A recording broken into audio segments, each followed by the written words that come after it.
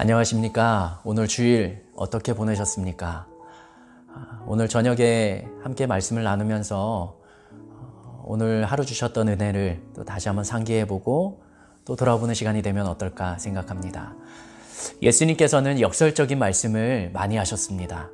그 중에서도 산상수훈의 팔복은 아주 재미있는 말씀입니다. 예수님께서 말씀하신 여덟 가지 복의 공통점은 무엇일까요? 바로 부족함입니다. 심령이 가난하고 애통하고 의에 줄이고 목마르고 마음이 텅 비어인 핍박받는 사람을 이야기하십니다.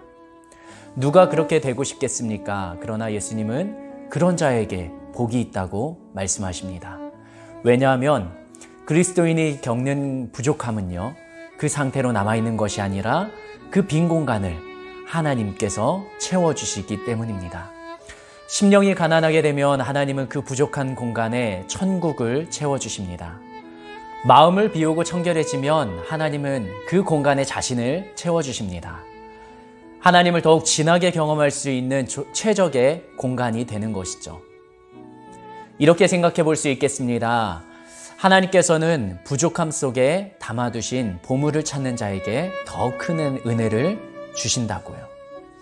가난, 깨어짐, 약점, 연약함, 그리고 장애와 실패를 경험한 그 아픔의 순간들이 어쩌면 하나님께서 일하실 수 있는 기적의 통로가 될 수 있는 것 아닐까요?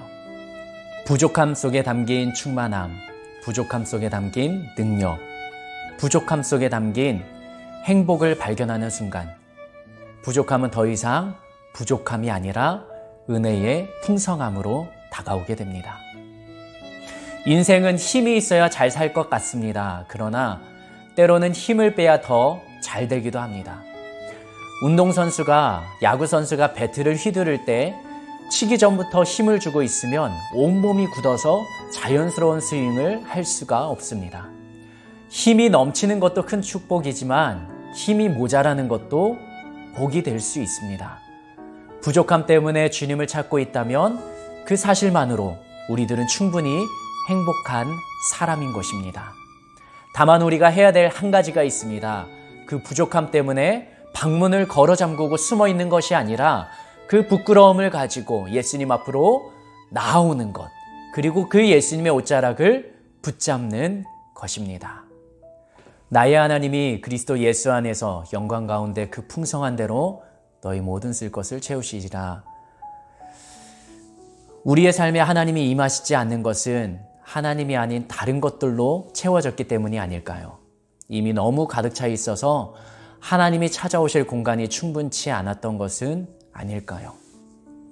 신명기 8장 말씀에서는 하나님께서 이렇게 기록하십니다. 내 하나님 여호와께서 이 40년 동안에 내게 광야길을 걷게 하신 것을 기억하라. 이는 너를 낮추시며 너를 시험하사 내 마음이 어떠한지 그 명령을 지키는지 지키지 않는지 알려 하심이라. 광야를 걷고 한없이 낮아진다고 해도 하나님께로 향한 우리의 마음이 바뀌지 않는다면 우리의 시선이 여전히 주님을 바라보고 있다면 부족함은 더 이상 부족함이 아닙니다. 그 무엇과도 바꿀 수 없는 귀한 보화를 담은 그릇이 되는 것입니다. 이 하루를 마무리하기 전에 오늘 하루 내게 주셨던 그 말씀을 다시 펼쳐보고 하나님이 주셨던 마음을 기록해보고 어떻게 살아야 할지 결단하는 하루를 정리하며 일주일을 살아갈 수 있는 힘을 그 말씀으로부터 하나님으로부터 얻고 시작하시는 것은 어떨까요? 그러한 값진 주일 저녁이 되기를 축복합니다. 기도하시겠습니다.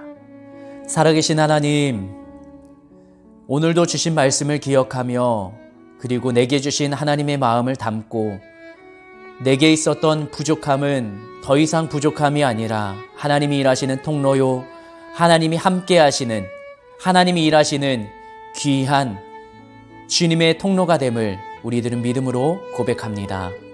여전히 상황은 바뀌지 않지만 그대로 있지만 그것을 바라보는 눈과 시선이 주님의 마음을 담아 하나님께서 어떻게 풀어가실지 기대감으로 오늘 하루를 그리고 내게 주어진 일주일을 살아낼 수 있는 우리 모든 하늘 비전 교회 가족들이 될 수 있도록 주님 은혜를 더하여 주시옵소서.